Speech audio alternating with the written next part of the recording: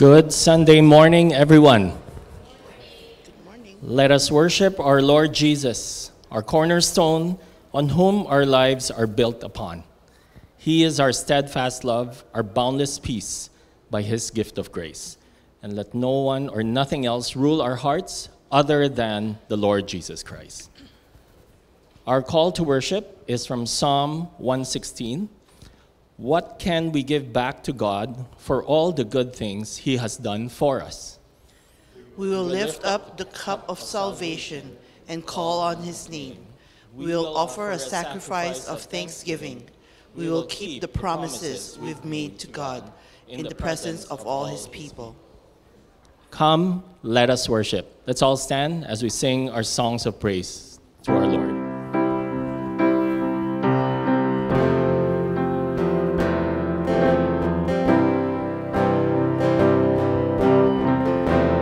Gift of grace?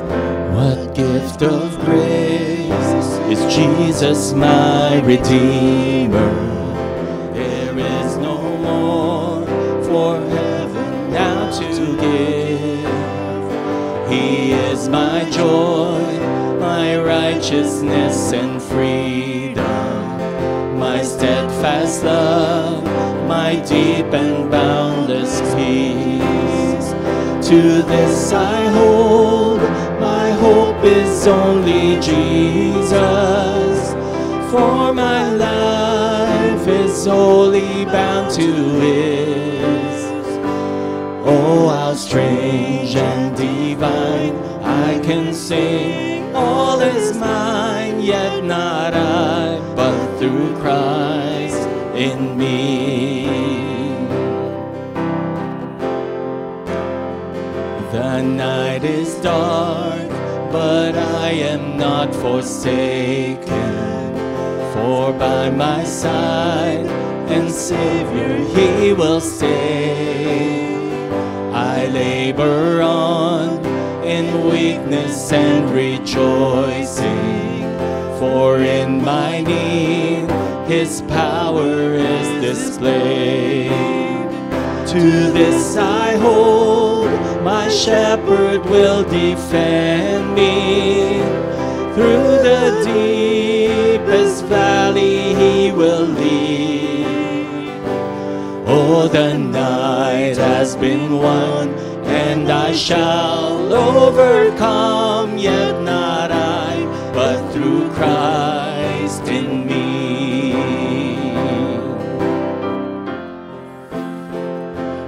fate I dread, I know I am forgiven.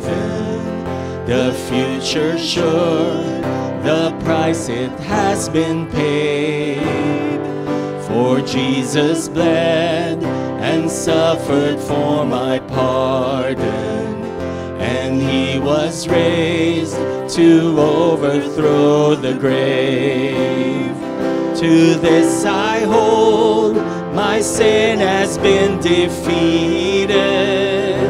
Jesus now and ever is my plea. Oh, the chains are released. I can sing, I am free, yet not I, but through Christ in me. With every breath. With every breath, I long to follow Jesus, for he has said that he will bring me home.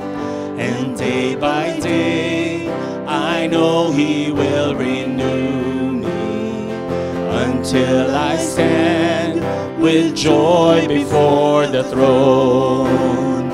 To this I hold, is only Jesus. All the glory evermore to Him. When the race is complete, still my lips shall repeat, yet not I, but through Christ in me. When the race, when the race is complete, still my lips shall repeat, yet not I, but through Christ in me. Yet not I, yet not I, but through Christ in me.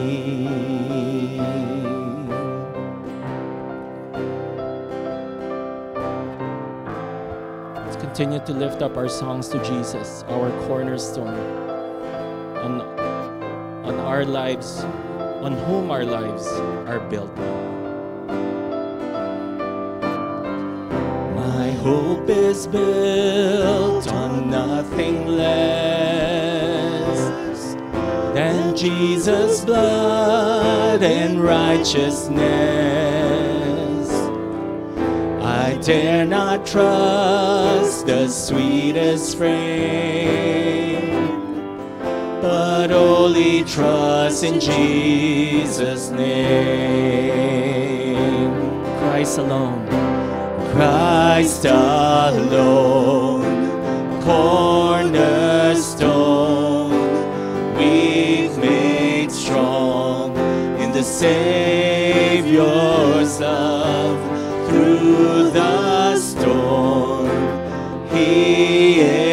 Lord, Lord of all.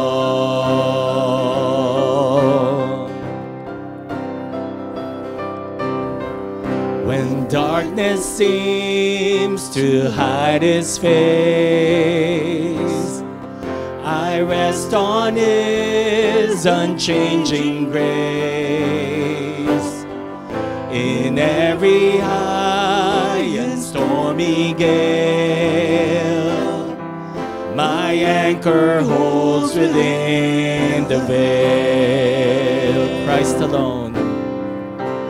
Christ alone, cornerstone, weak made strong in the Savior's love through the storm.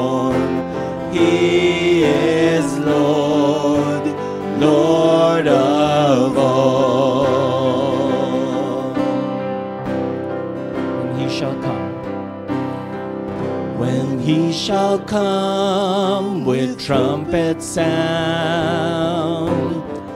Oh, may I then in him be found, dressed in his righteousness alone, faultless stand before the throne.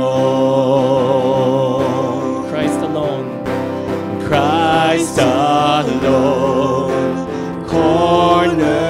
cornerstone, weak made strong in the Savior's love through the storm.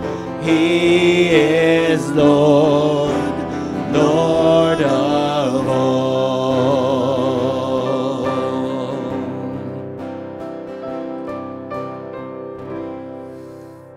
Let us pray. Yes, Lord Jesus, we wholly trust in you. You are our joy, righteousness, and freedom. You are our cornerstone.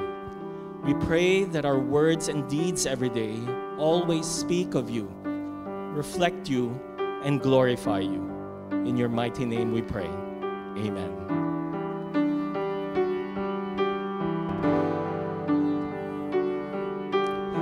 I just want to speak the name of Jesus and over every heart and every mind. Cause I know there is peace within your presence. I speak Jesus. I just want to speak the name of Jesus. I just want to speak the name of Jesus till every dark addiction starts to break.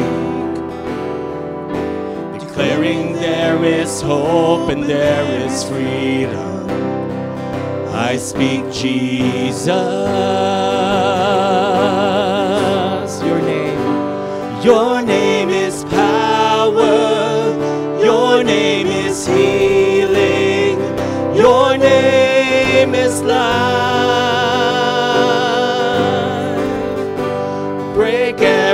stronghold, shine through the shadows, burn like a fire.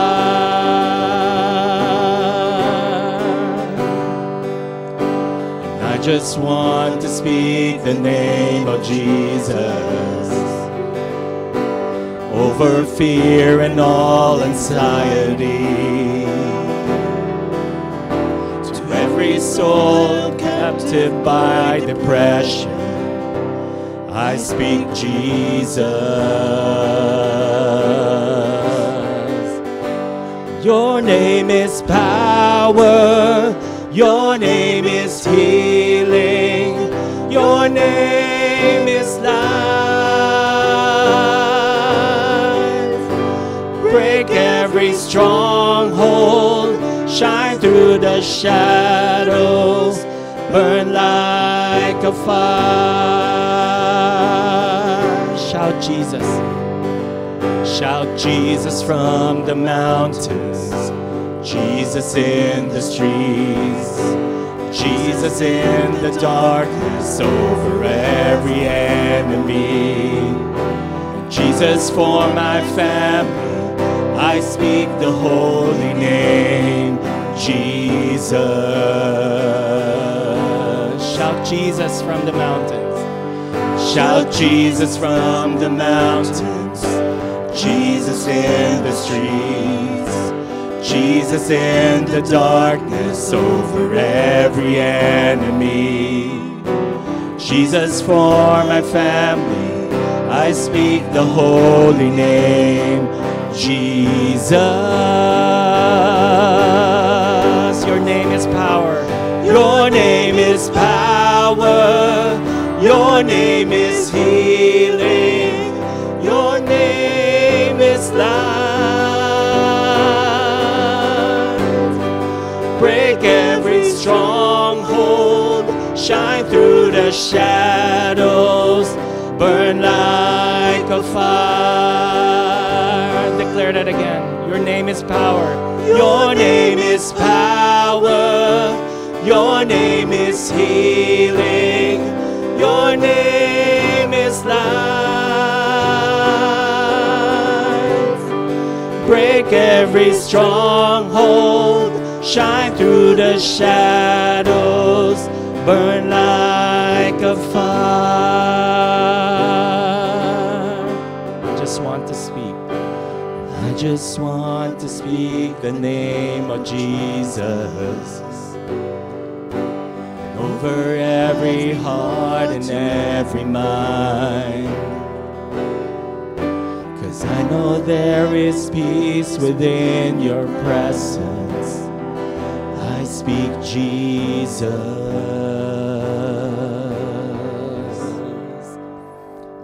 Let us pass the peace that we have in Jesus this morning to one another. Peace of Christ. Let's all be seated.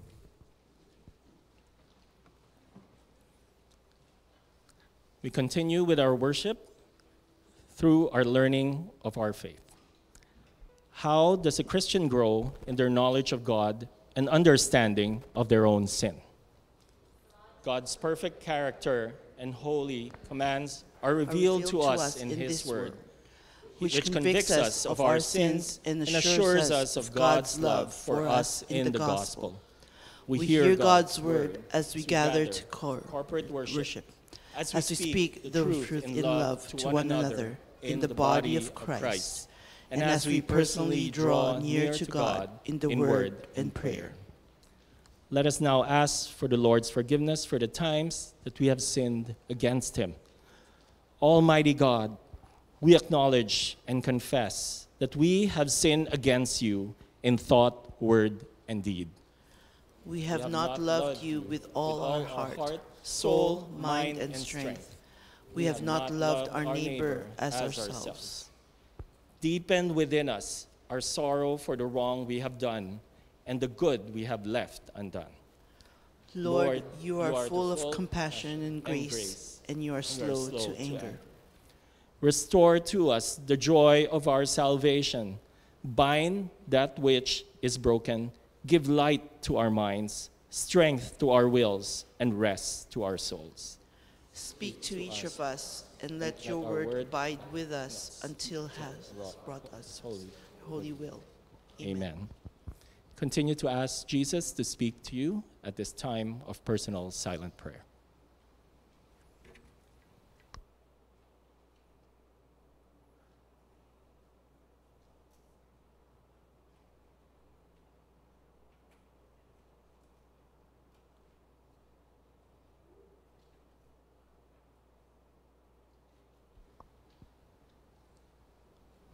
Let us pray the Lord's Prayer together.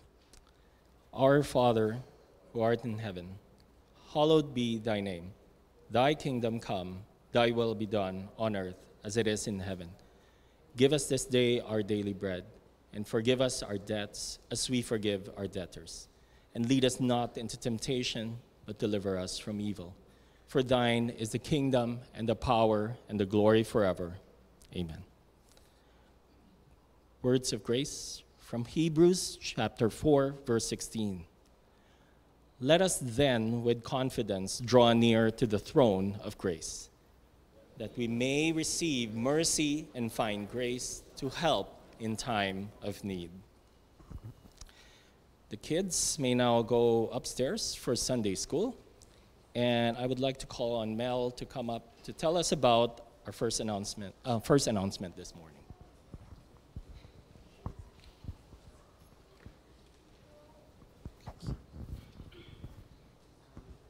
Hi, good morning, everyone. Um, yeah, so the ICRC Special Events Ministry would like everyone to save the date uh, for our Family Day 2023, Amazing Grace. Um, so this is from August 27 uh, here at the church parking lot, and it's going to be from 5 p.m. to 8 p.m.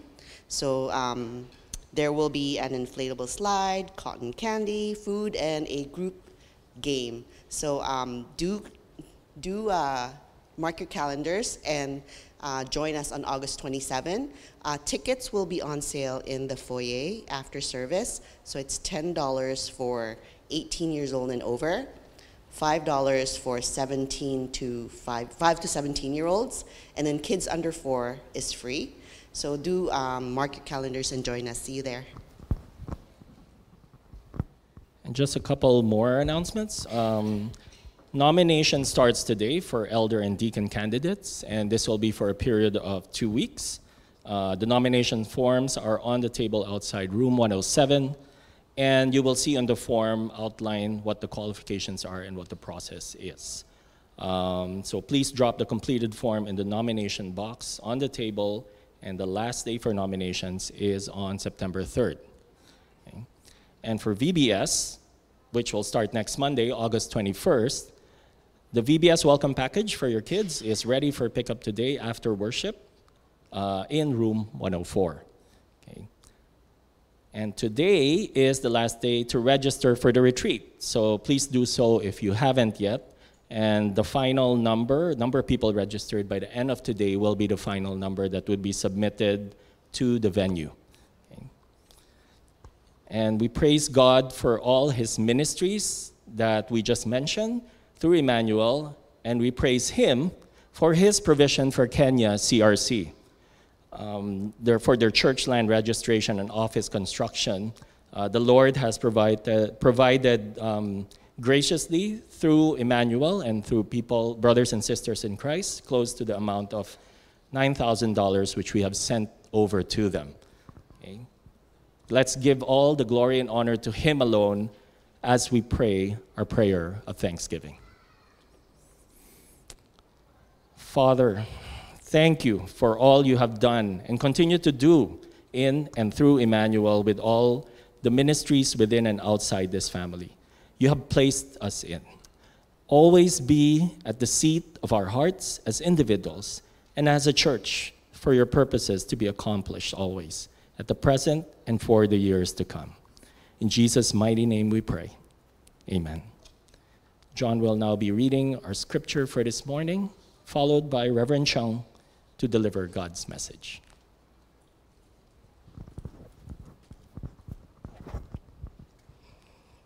Today's scripture reading is from Proverbs 4:23, and I will be reading from Legacy Standard Bible. That's Proverbs 4:23.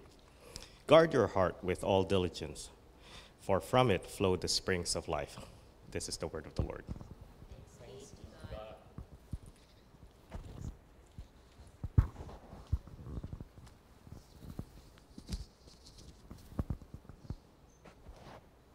One, one, two. Mic test, mic test. Thank you so much. Yeah. Guard your heart. We're taking a series break from the book of Genesis. Some of our friends are at the youth retreat. They will be home after lunch this afternoon. So we're here. Let's pray. Thank you, dear Lord, that we can observe the Lord's day. Thank you, dear Lord, that we can worship freely. Thank you, dear Lord, for bringing our friends back from holiday, even if there was danger at some moments on the road. Thank you for safe travel back to home. We pray, Lord, for our young people who are at the retreat. Pray that you speak to them. Pray that you revive them. And pray that they get connected to you and to each other. And even now, your people prepare their hearts to listen to your word. Speak, Lord. Your people are listening. We pray in Jesus' name. Amen. The book of Proverbs has this verse Guard your heart with all diligence, for from it flow the springs of life. Springs of water, springs giving water, springs giving out life we make decisions all the time. When you woke up this morning, oh, it's Sunday. I don't need to go to work. I'm going to the house of the Lord. What should I wear today? I have so many clothes to pick from. You make decisions. You think, you ponder, you weigh, you decide, and that's what happened for the next many hours. Sometimes our hearts make decisions with implications not just for a day or two days, but for a long time. And we want to guard our hearts so that we make the right decisions. We want to be guarded by the Lord, led by the Lord, protected by the Lord, so that we can live a life pleasing to Him and a blessing to us and to other people. Guard your heart above everything else with all diligence, for from it flow the springs of life. So, what kind of heart should we have? Today, we look at three hearts that we should cultivate, and three hearts that we should not cultivate. The first heart is this one Moses was the man of God he brought the people of God out of a land where they were enslaved, where they were in great suffering. And then Moses led them through the wilderness. At this point, when we read this passage, it was the 40th year in the wilderness and 11 months. God said, 40 years, it's just one month away. Promised land is just around the corner. Moses rehearsed with them what happened in the past years, especially year number two. Again, this is year 40th. Year number two, something happened. We were at the edge, at the border of the promised land. We could have entered the promised land at that time, but we did not. Moses said, Yet you were not willing to go up but rebelled against the command of Yahweh or the Lord your God, and you grumbled in your tents or at home, and said, Because Yahweh does not like us, He hates us. That's why He has brought us out of Egypt to give us into the hand of the Amorites to destroy us. Our brothers have made our hearts melt, saying, The people are bigger and taller than us. The cities are large and fortified to heavens. Legacy Standard Bible gives it literal. Hearts melt. Then use the word fear, afraid, lose heart, but their hearts melt. Moses said, This is the land. The people says, What land? What's it like? So they decided to send out 12 spies into the land, look at it, and came back with a report. Majority report. And there was a report, minority report. The majority says the land is great, but the people are greater than us. Our troubles are really great. Their, their cities are fortified up to the heavens. Doesn't mean that it reaches the heaven. It's just, just an expression saying it's really very high. We cannot go against them. Before we can reach the foot of the wall, we'll be done with with arrows from the top. It's too high. We cannot conquer them. Moses said 38 years ago, we almost had the land, but because your hearts melt, the people are great. Maybe God is not so great. The walls are high. Maybe God is not so high. We cannot do it. That's what happened.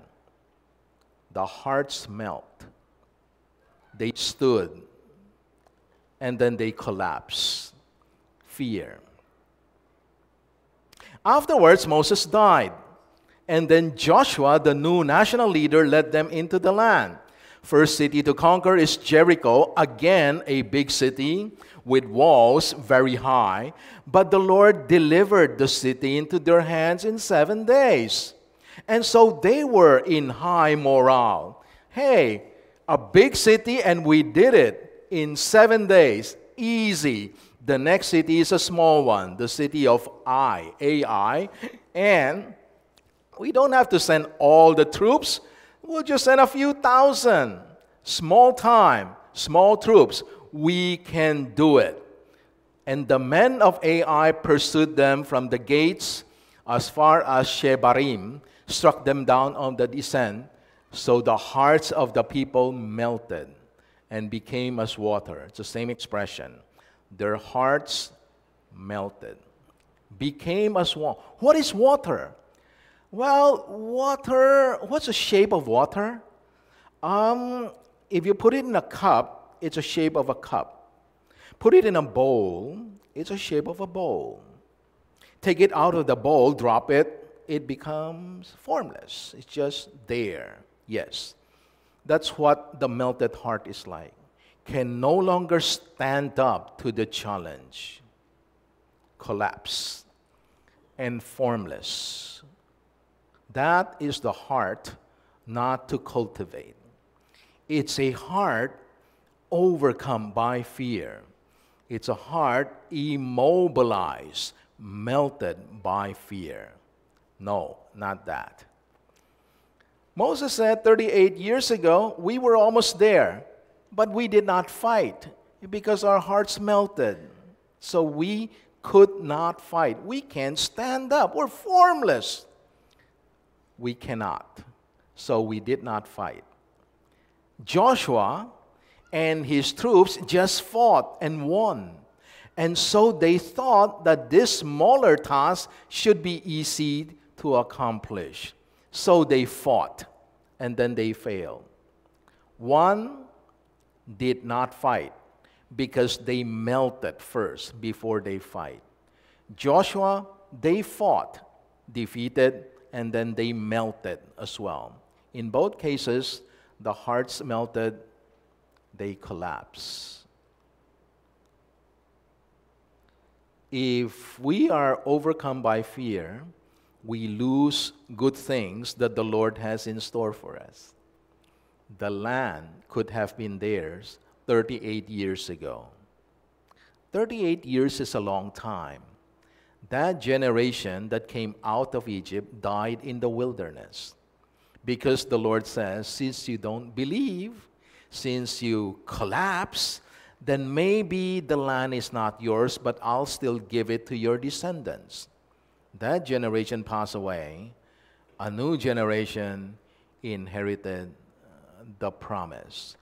King David wrote this When evildoers came to devour my flesh, they stumbled and fell. Though a host encamped against me, my heart will not fear. Evildoers, the enemies, they come to do evil to me, not to bless me, but to devour or kill me. And they were many. It's a host encamped against me. My heart will not fear because, well, this is verse 2 and 3. We need to look at verse 1 because verse 1 gives the reason the Lord is my light and my salvation. Whom shall I fear? A host? Plenty of evildoers? Better equipped than I? Outnumbering me? Whom shall I fear? The Lord is a strong defense of my life. Whom shall I dread? That is the heart to develop. Not a melted, frightened heart, but a heart that is full of courage. A courageous heart. Many years ago, there was a scientist. He lives in America. He does some very important research for that country. And then he became a Christian. He continued to be a scientist, and then he gave an account of how he uh, uh, transformed from a non God believing or atheistic scientist into, into a, a God fearing scientist. And then people asked him, What a powerful story of transformation and conversion. So then, before you became a Christian, you were a scientist. You do science. After you became a Christian, you continue to do science. Scientist. So, what's the difference between the two? And he said, Well, after I became a Christian, I still do the same methods. I still do the same experiments. I still do the same research as a scientist. But I discovered I was more successful than before.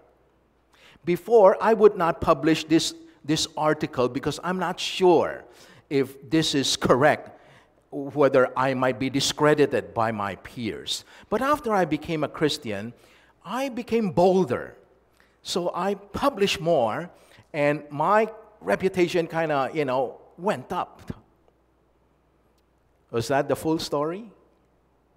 It's part of the story. You know what he missed out? Verse 1. Verse 2 and 3, the enemies are there. I'm not afraid. Verse 1, I'm not afraid because of the Lord. He was a new Christian, of course. He could not figure out the whole. He says, Well, I became bolder, so I publish more, and I become better known and better respected. He couldn't figure out that it's not you. There's somebody there telling you, yeah, you can publish that. Yeah, you can do that. Yes. This is how we develop a heart of courage. You have to cultivate, develop, you know, farm, breed a courageous heart by relying on the Lord. We don't become properly courageous by deciding to be brave to be braver and to be the bravest among the lot. No.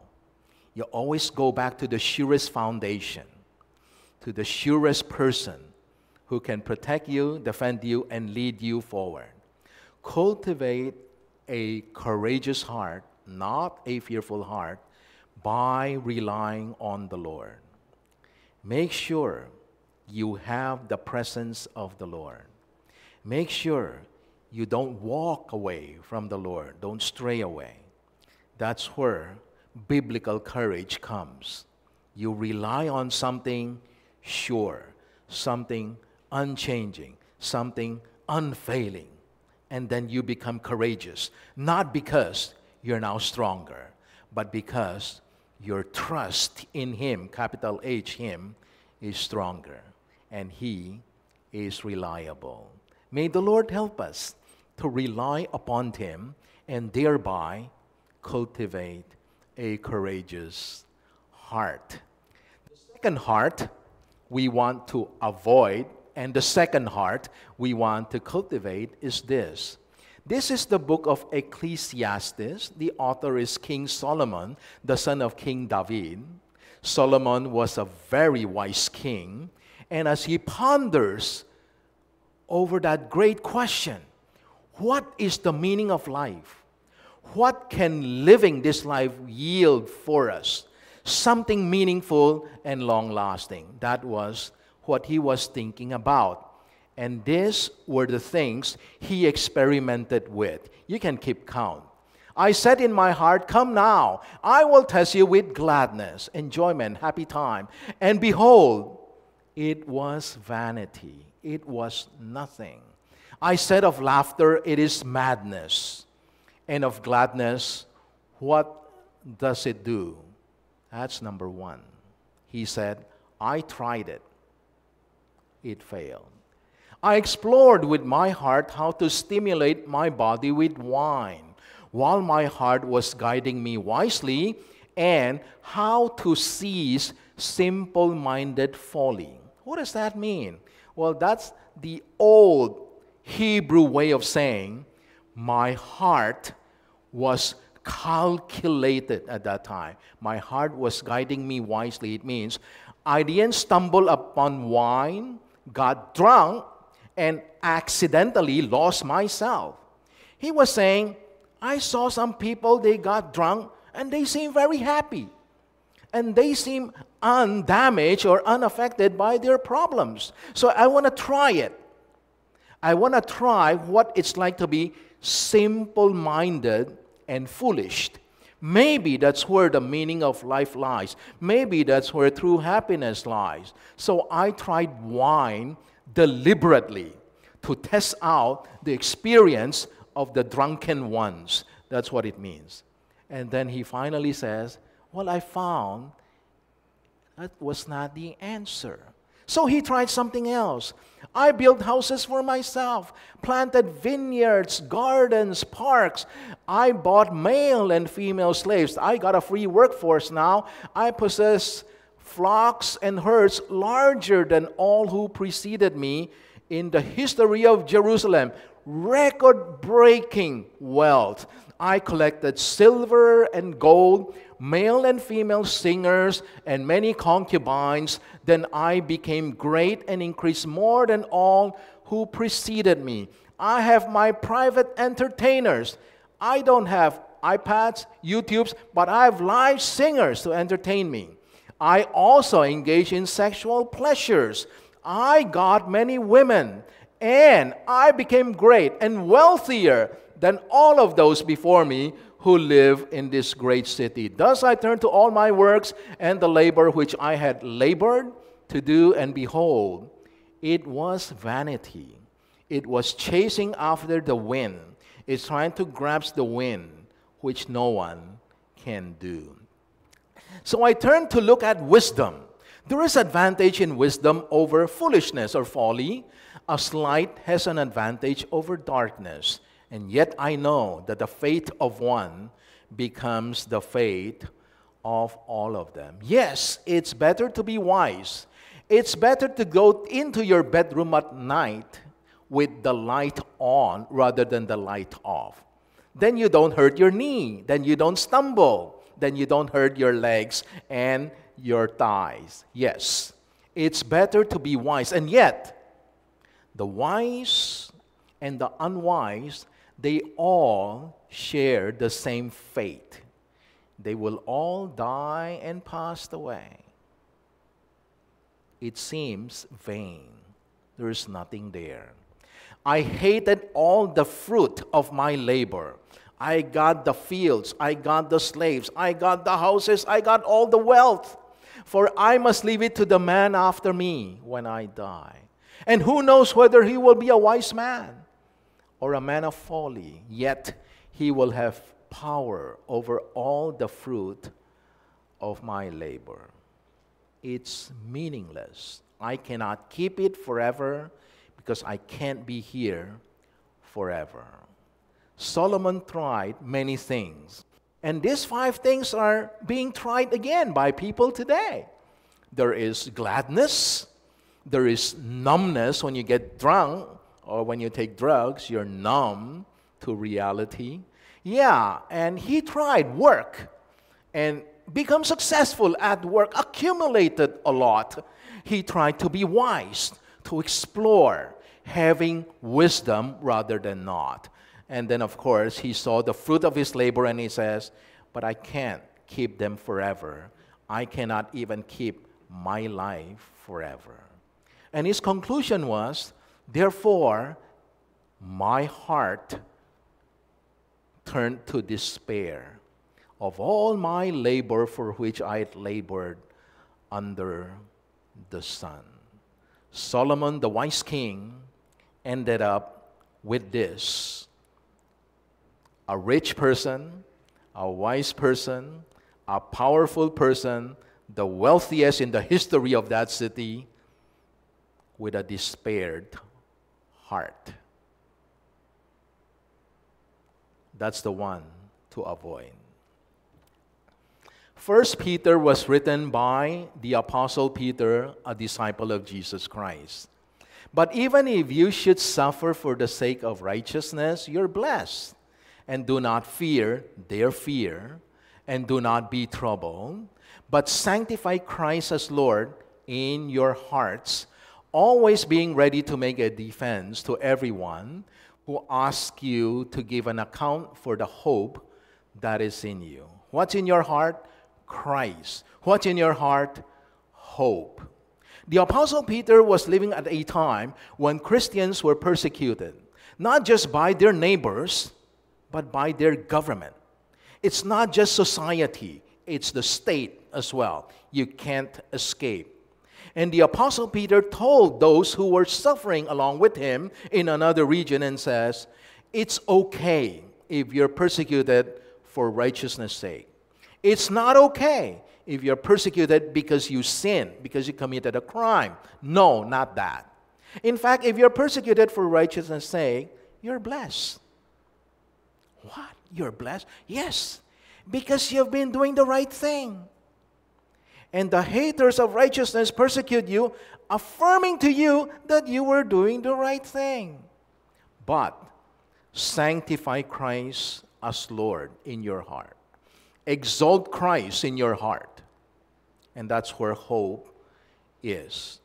You must do that. Do not be troubled by Ah, a slide is missing. Do not be troubled by the despaired heart, but developed a hope filled heart right there. Hope. But you need Christ to make the hope solid. Cultivate a hopeful heart by honoring the Lord. Hope is not just being optimistic that everything will work out. I promise. Me? Promise? Everything will be okay. I guarantee. Me? Guarantee? Can I control anything at all? I can't even control my tomorrow. These are promises designed to comfort. But if you want solid hope, you need to have somebody who's the same yesterday, today, and forever who does not change. You need to sanctify Christ. Hold him, exalt him in your heart, honor him. That is true hope. The Apostle Peter was in hard times. Solomon was in good times. He's got everything. He's the richest now, not just from his generation, but all generations before him within the city of Jerusalem but he ended up despaired. The Apostle Peter, hard times, not much wealth, no gardens, no parks, no cities, no houses. But the Apostle Peter says, we can have hope in Christ. If you want to cultivate a hopeful heart, you need to honor the Lord. If you want to have the right hope, you ask the Lord. Lord, give me a word, a promise. When the Lord gives you a word, a promise, you can hope on it. If the Lord does not say it, if the Lord does not promise it, we just hope on it, we're on our own. We're being hopeful without real hope. But we want to be hopeful because there is real hope. Honor the Lord and thereby cultivate a heart of hope. The third that we want to look at ah, Belshazzar, that's a king, the name of a king. Neo Babylonian Empire. There was an old Babylonian Empire. It was there, it ruled part of the ancient world, and then it collapsed, was defeated by another. And then, after some centuries, another Babylonian Empire arose. It's the new or the Neo Babylonian Empire, and Belshazzar is the seventh king in this empire. Belshazzar threw a big party for his nobles, those important people in his kingdom. And they were drinking. When Belshazzar tasted the wine, he said to bring the gold and silver vessels, which Nebuchadnezzar, his father, the greatest king of the Babylonian Empire, the new one, had taken out of the temple which was in Jerusalem. Nebuchadnezzar conquered Jerusalem, destroyed the city, took away all the precious things from the temple and destroyed the temple. And the king and his nobles, Belshazzar, his wives, his concubines, drank from these holy vessels from the Jerusalem temple, and they praised the gods made of gold and silver, bronze, iron, wood, and stone. And suddenly, the fingers of a man's hand came out and began writing on the plaster of the wall in his palace. The king's face changed. His knees were knocking against each other. It was a very strange sight to behold. He was frightened. So, too, I suppose, all his guests and all his entourage and all his bodyguards and everybody else who saw the same. So the king says, Quickly summon for me all the conjurers all the magicians, the Chaldeans, and the readers of the stars or the astrologers, so that I can ask them, Who can tell me what these words are and what they mean? So quickly his aides summoned all these people, and they ran into the palace. When the king summons, you don't walk, you run into the royal hall and they look at the wall, try to understand what it says, and finally said to the king, O king, the great king, even though you promise great reward to he who can interpret what these words mean, none of us can do it. The fear in the room increased in great proportions. The queen came in and announced, O king, may you live forever, one sui. And then he said, Be not afraid. There is a man in your kingdom, a man who was designated by your forefather, the great Nebuchadnezzar, to be the chief among the magicians, among the astrologers, among the Chaldeans. He should be able to read those words and tell the king what those words mean. O king, it is at this moment that you should summon Daniel, for in him resides a spirit of the gods. And so they summoned Daniel. And Daniel came. And the king says, I'm offering great reward to he who can interpret. Daniel says, O king, you may keep your reward or give it to someone else. I do not need them. But nevertheless, I will read for you the words and tell you what they mean. And Daniel says, O king, the Most High God granted the kingdom, grandeur, glory and majesty to your forefather Nebuchadnezzar, who ruled more than 40 years in this great empire, the longest reigning monarch during that imperial age. And because of the grandeur which God bestowed upon him, all the peoples, nations, and men of every tongue feared and were in dread before him. If he want to spare someone, he is spared. If he want to slay someone, he is slain everybody looked up to him with great fear and trembling. But when his heart was raised up and his spirit became so strong that he behaved arrogantly, he was deposed from his royal throne and his glory was taken away from him. The verses that we're looking at this morning have the word heart. And they have the word heart in the original text, Hebrew or Greek. Sometimes when you read the English Bible, you don't see the word heart, but it's actually in there. They just kind of summarize it. Like, for instance, in the NIV, instead of saying, He humbled Himself in the heart, the NIV simply says, He humbled Himself. They thought it redundant, but actually, it's quite valuable to retain. When His heart was raised up, ram, in the original, what does it mean? See, when somebody raised you up, it's called praise. It's called commendation.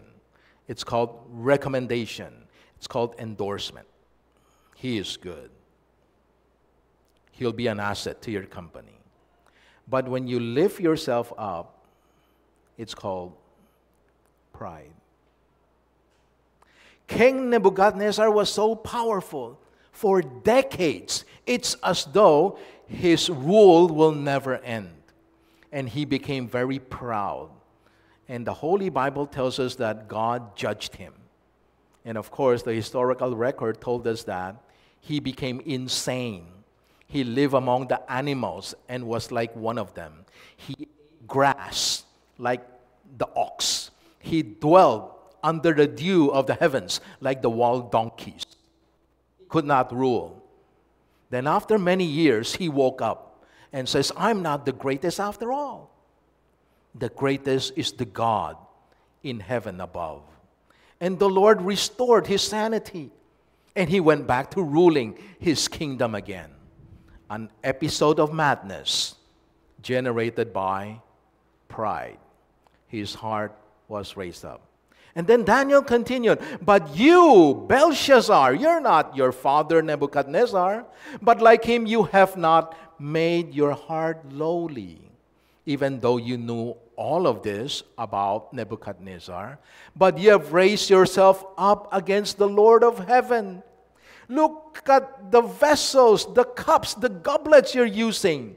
These are from the holy temple in Jerusalem. You know what that means? These things were given to the temple of the Lord to be used by the Lord. But you took them from their sacred usage and use it for entertainment to get drunk with your friends. What a blasphemous occasion this is. It's not a happy feast. It's a very dangerous, accursed feast because you're using the wrong cups.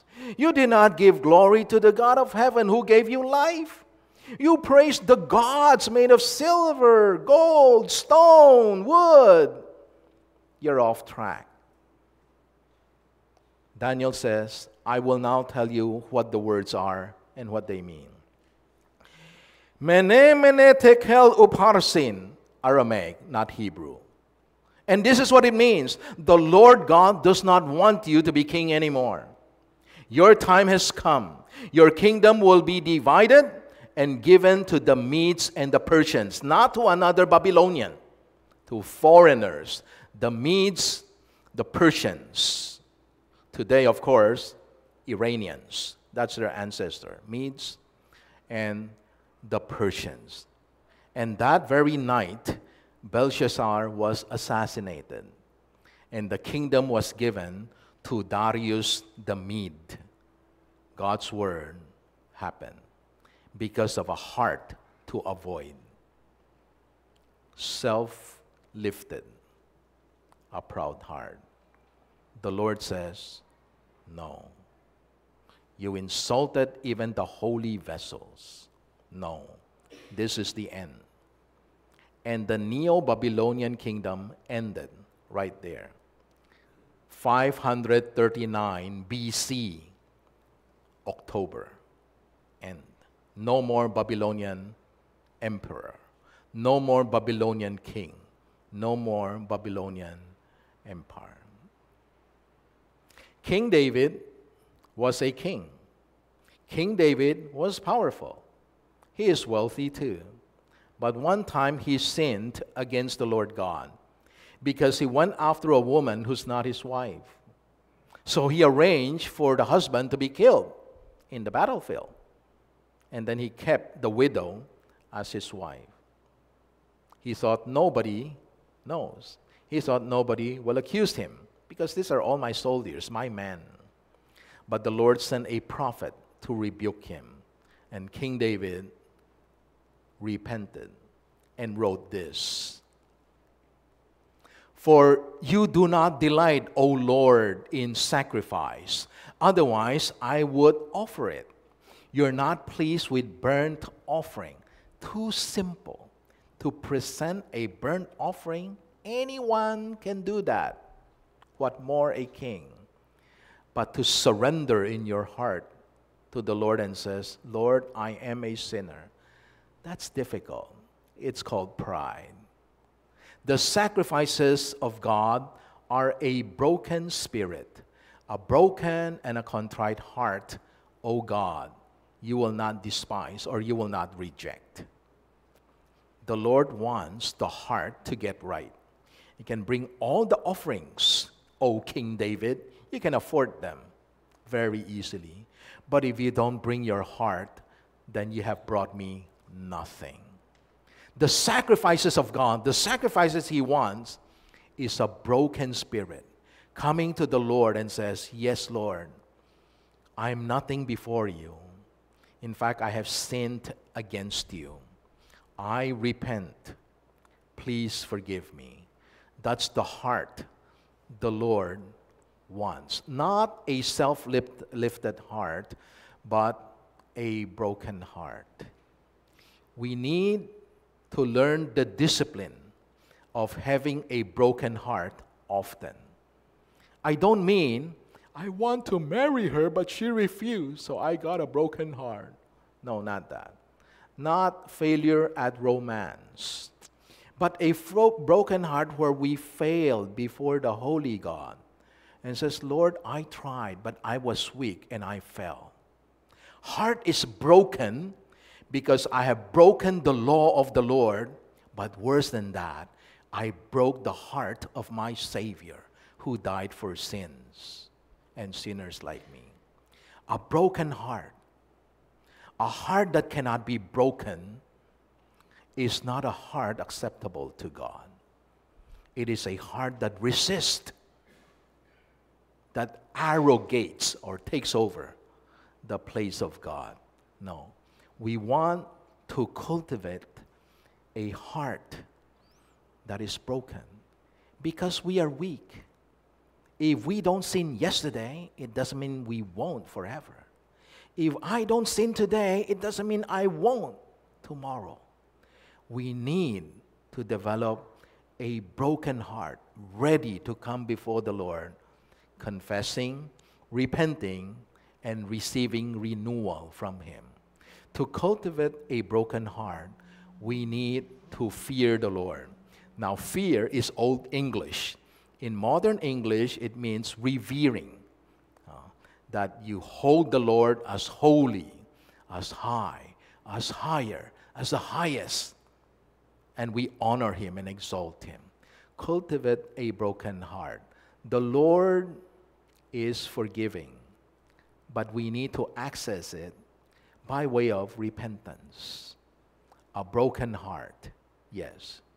Today, we talk about six hearts. Three of them we want to avoid, three of them we want to pursue. We don't want to be frightened, living in fear all the time. We want courage, but courage rightly built. We don't want to be despairing of life every day we want to be filled with hope, true hope only. We don't want to have a self lifted, a proud heart, but we want a broken heart constantly being repaired by the Lord, constantly growing in the fear or the reverence of the Lord. All of this red lines, the red hearts, must be built upon a right knowledge of God. It cannot be done humanly. Cultivate a religious, a courageous heart by relying on the Lord because He is Almighty. He can. Cultivate a hopeful heart by honoring the Lord because the Lord is victorious, even if He's patient, delaying the final revelation of full victory so that more can come to a saving knowledge of God. We want to cultivate a broken heart by revering the Lord because He is the Holy One. We need to know the Lord who loves you and I is Almighty, that He is victorious, that He is holy, so that we may cultivate a religious, a courageous heart, a hopeful heart, and a broken heart. May the Lord help us cultivate a courageous heart by relying on the Lord, not on ourselves. Cultivate a hopeful heart by honoring the Lord, not some forces or material abundance. Cultivate a broken heart by fearing the Lord, the Holy One. Let's all stand as we sing our song of response.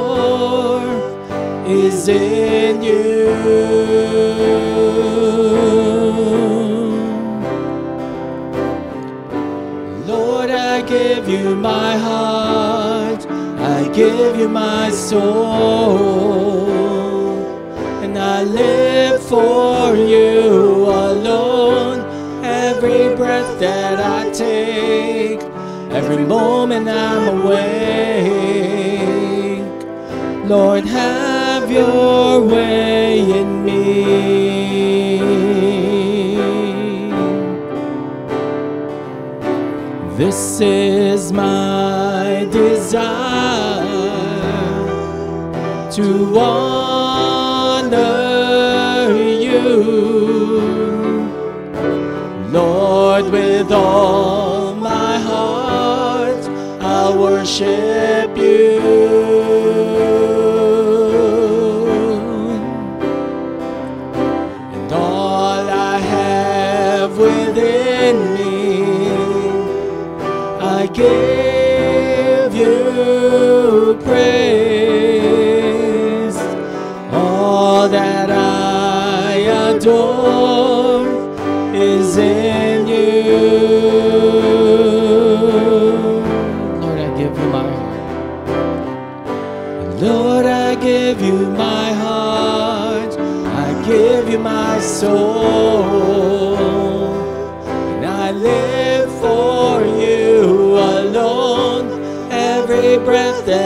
take, every moment I'm awake.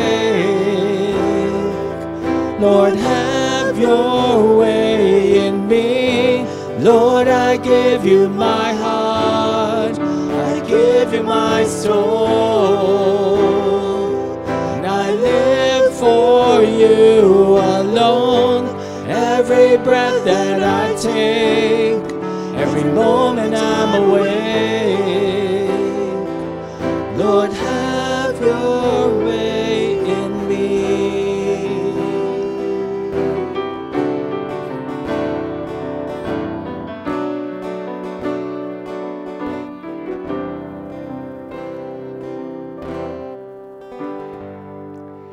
Yes, Lord, have your way in our lives.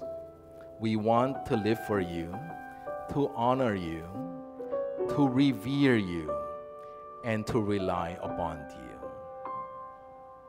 And now may the grace of Jesus Christ, our blessed Savior, and the love of God, the exalted Father above, and the guidance of the Holy Spirit, the counselor within, be with each and every one of us, helping us to cultivate the three hearts that God loves. Blessings are pronounced this day in the name of God the Father, God the Son, and God the Holy Spirit. Amen. Please be seated for silent prayer.